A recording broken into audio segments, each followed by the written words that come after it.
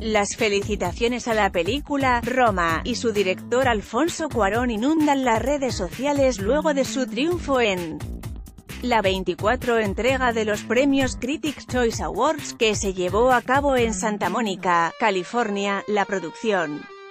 Rodada en varias locaciones de México, ganó cuatro estatuillas a la Mejor Película Extranjera, Mejor Fotografía, Mejor Director y Mejor Película. La Academia Mexicana de Artes y Ciencias Cinematográficas, AMACC, escribió a través de su Twitter, México triunfa.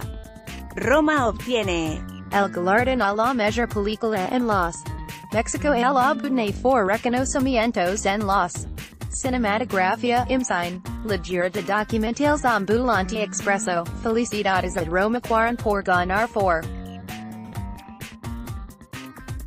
Director y fotografía. Es la primera vez que una cinta de habla no inglesa se lleva el premio en la categoría principal. A su vez, compartió una decena de noticias que anunciaban el triunfo de Roma, dirigida por su colega Alfonso Cuarón. Alex Bauer, integrante del grupo Timbiriche, también reflexionó al respecto, voy a empezar a escribir Roma 2, el otro lado. De cuando la familia se preocupa y le da todo a la muchacha que lleva años en tu casa y un día sin más decide no regresar, vaya, ni siquiera despedirse.